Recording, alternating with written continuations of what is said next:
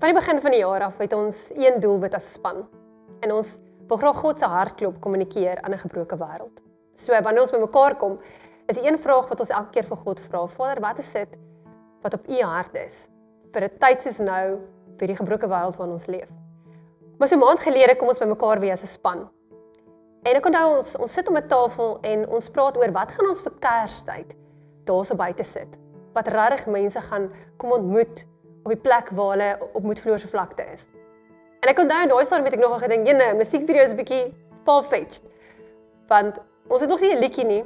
Ons het nog nie 'n sanger nie. Ons het nog geen konsep vir 'n musiekvideo nie en dis uh, omtrent 'n maand weg waar ons hierdie ding wil graag bekendstel. En ek onthou 'n uh, halfuur na die vergadering stap ek uit.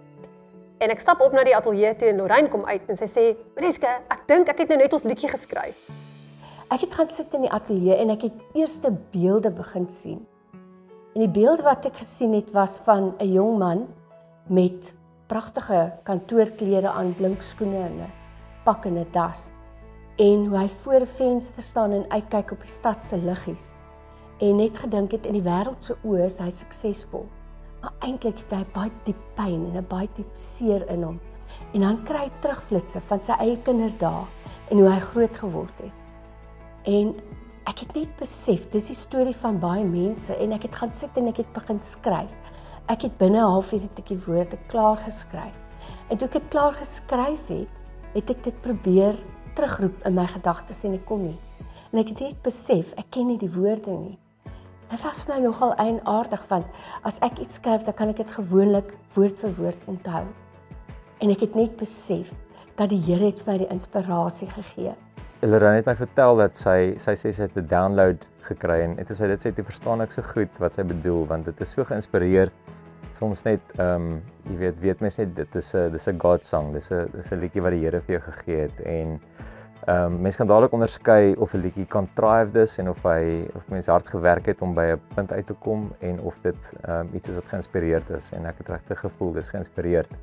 Toe hy die lied kry en hy stuur die eerste kort deeltjie van wat hy opgeneem het, het ek onmiddellik besef. Dit is die stem en hy verstaan die lied. Hy vang die hele essensie van die lied saam. Nou kon nou die die dag toe ek die eerste weergawe terugkry van Jatti. Ek het trane in my oë gehad en ek het hoendervleis gehad en ek het geweet want dit was asof daar salwing was op hierdie lied. Van daar af is dit mos nou hoe dit werk. Nou kom daar nog mense by en die en die dinge evolve.